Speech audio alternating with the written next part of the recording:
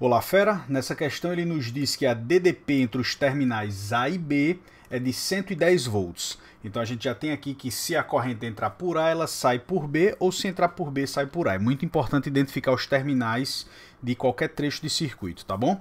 Então veja, a DDP aqui é 110 volts, ele quer a corrente que passa em cada um desses resistores de 11 ohms.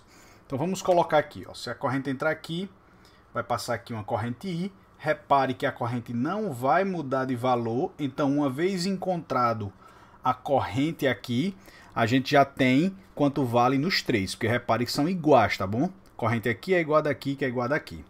E aí, sabendo que a corrente é a mesma, a gente já identifica que esses três resistores aqui, eles estão em série, ó. Vai preservar o ponto A, preservar o ponto B aqui, e a gente vai ter um resistor só, que é a soma deles, 33 ohms. E a corrente que vai passar por aqui, quando a gente juntar, continua sendo o nosso I, beleza?